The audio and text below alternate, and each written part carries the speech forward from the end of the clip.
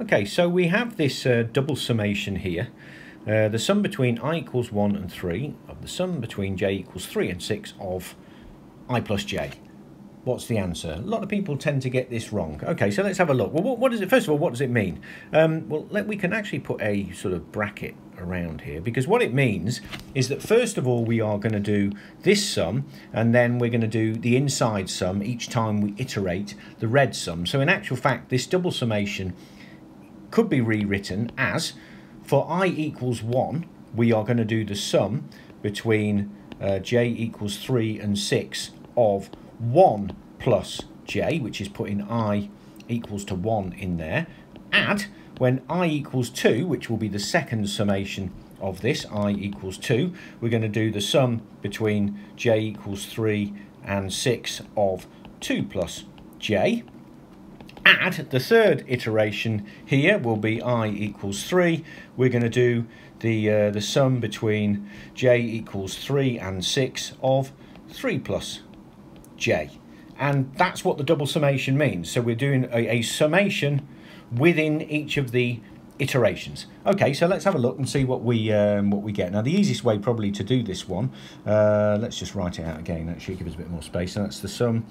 Uh, i equals 1 and 3. The sum between uh, j equals 3 and 6 of i plus j. Well, the easiest way to do it is probably to draw a table like this, uh, where we have here j and we have here i. And okay, we now we know we're going to go through this outer iteration three times. So here's i, 1, 2 and 3 uh, and then we know that we're going to go through this one from j equals 3 to 6 so we need j equals 3 4 5 and 6 okay so the very first iteration when i equals 1 and we're going to go from j equals 3 to 6 so this will be i equals 1 and j equals 3 so i plus j will be 1 plus 3 and then when we go the second iteration around this one it'll be 1 plus 4 and here 1 plus 5 and then 1 plus 6 and then we're going to go through the second iteration here which will be i equals 2 so we're going to have 2 plus 3 2 plus 4 2 plus 5 and 2 plus 6 and then the third iteration i equals 3 we're going to have 3 plus 3 3 plus 4 sorry I don't know where that came from 3 plus 5 and 3 plus 6 and then when we add all of this lot up, that basically is the answer to the question. Uh, that's going to be 4, add 5, add 6, add 7, add 5, add uh, 6, add 7, add 8, add uh, 9, add, um, uh, sorry, add 6, add 7, add 8, add 9, and the whole lot of that comes to 78. And so that is the answer.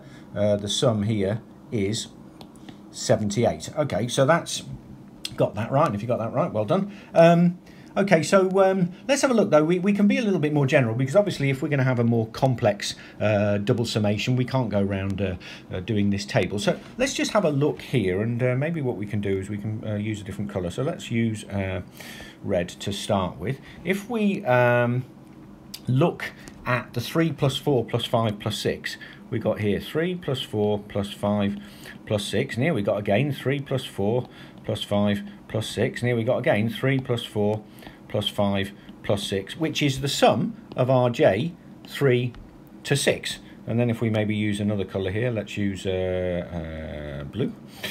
Okay, so if we use blue, let's have a look at the I 1 to 3. So we got 1, 2 and 3 here, and we got 1, 2 and 3 here, and we got 1, 2 and 3 here, and we got 1, 2 and 3 here, which is the sum of I from 1 to 3.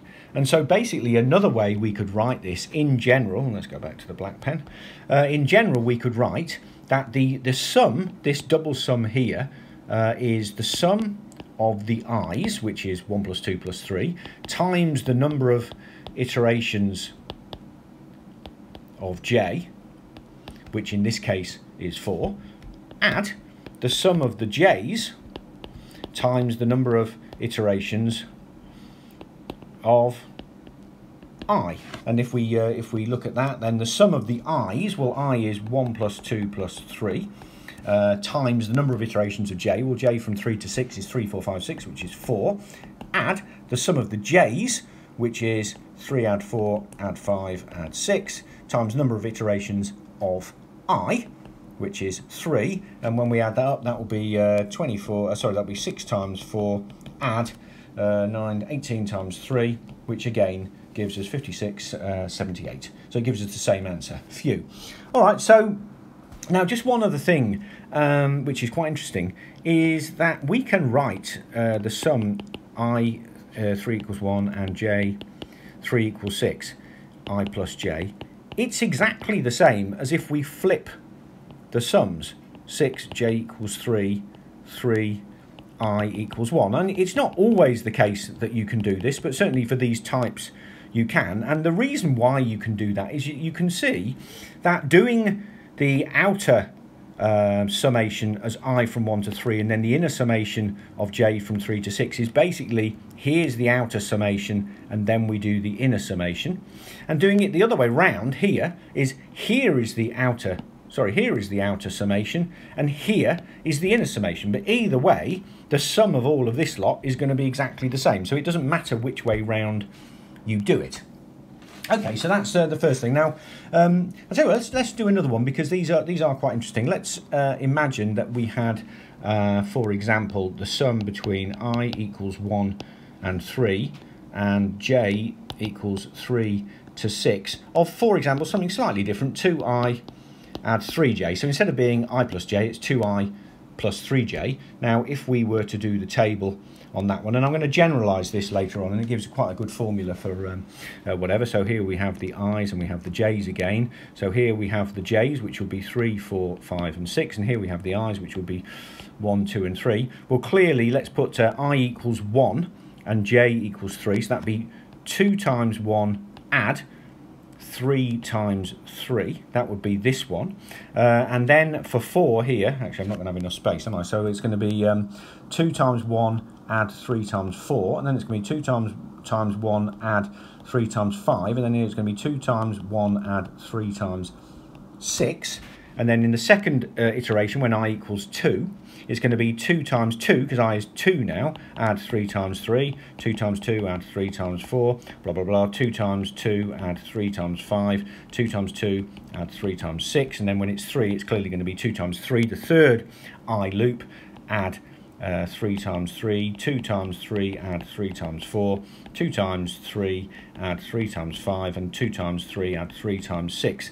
If we look at this and we group it exactly the same way uh, as we did in the previous example, we will find that that sums to 3, which is uh, the number of j's, times 3 times the sum of the j's, 3 plus 4 plus 5 plus 6, add 4, which is the, uh, the, the, the, the, sum of the um, i's, times 2, which is this number here, times 1 plus 2 plus 3. And that will come to 210.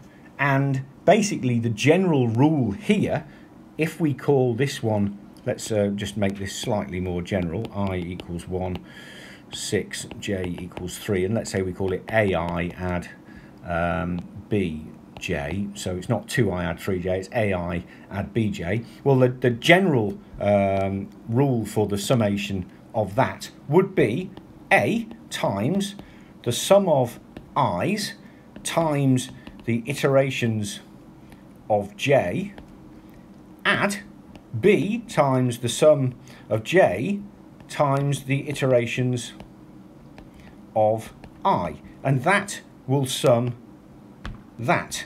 Now, just uh, finally, there was one question that I saw on a, on a Maths Olympiad, which we can now answer instantaneously uh, by doing this. So let's just um, uh, let's try and keep the formula in there. So the uh, the question was uh, the sum between j equals one and k, uh, and then the sum of i equals one to k of two j.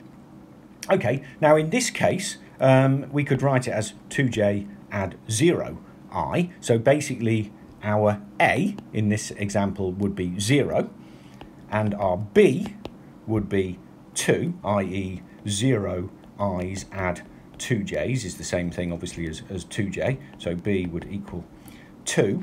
And then, so basically all we need to do now to, to sum this is we can literally just put the figures in here. So that would give us 2, uh, which is the value of um, oh, sorry, so 0 for the value of A, so we can ignore that line, and it would be left with B, so B would be 2 times by the sum of the J's, well, J goes from 1 to K, so that'd be 1, add 2, add 3, add da da da, add K, times by the iterations of i. Well, there are k iterations of i, so it would be 2 times the sum of 1 to k times k, okay? Uh, and the sum of 1 to k, 1 add 2 add 3 add da da da add k, well that's just the sum of the first n natural numbers is k, k plus 1 over 2, and so therefore the sum of this here is equal to 2 times k, k plus 1 over 2 times k, which equals k squared, k plus 1.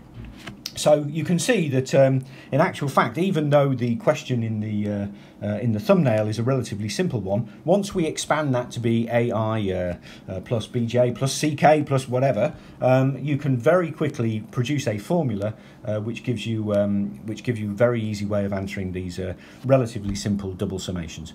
Um, I hope you found this useful. If you did, please subscribe to the Gresty Academy YouTube channel. Thank you.